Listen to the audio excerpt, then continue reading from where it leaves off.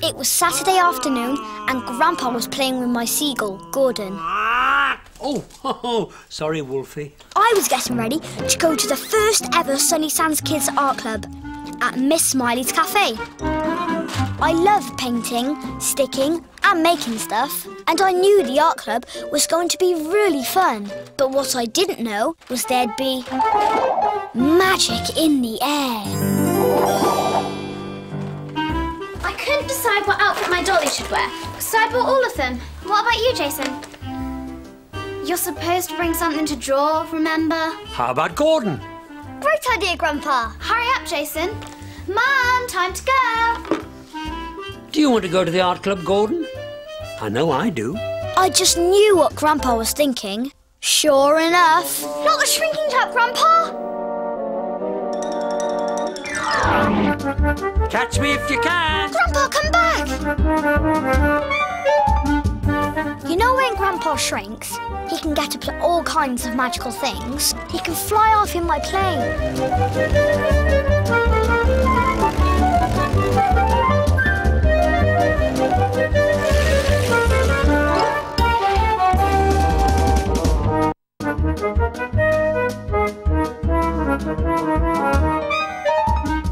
Nobody else knows about Grandpa's magic shrinking cap. Whenever he disappears, everyone thinks he's gone for a little lie down. Oh, Grandpa gone for a little lie down, has he? I expect he's glad we're going out. You know how he likes his peace and quiet.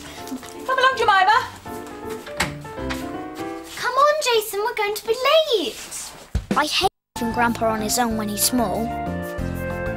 But I had to go. All got into Campo and set off for the cafe. And Mum said, I wonder what the art teacher's going to be like. and Jemima said, I hope she's nice and friendly. and I said, oh no, I forgot Gordon. And Jemima said, Jason! but I wasn't so worried about Gordon. I was much more worried about Grandpa. Wee, wee. I knew he'd have a plan. I just didn't know what it was. The new art teacher was already there. And so are my friends Zach and Lily. See, children, nice and pointy. That's how we like them. Everybody must have a pointy pencil. Pointy pencils are most important. I didn't know the teacher's real name, but I knew if Grandpa was here, he'd call her Mrs. Pointy Pencil. Her face, of course. You. Oh, that's a lovely one. Pointy pencil for you, pointy pencil for you, pointy pencil for you, and pointy pencil for you.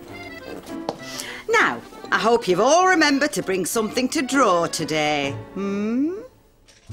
I was about to tell Mrs. Pointy Pencil I'd forgotten to bring Gordon when I saw him sitting by the open door. This could mean only one thing. If Gordon was here, so was Grandpa. Little boy, sit down. Little girl, what are you doing? Stop dressing that dolly and put those clothes away. I will not have this messing about.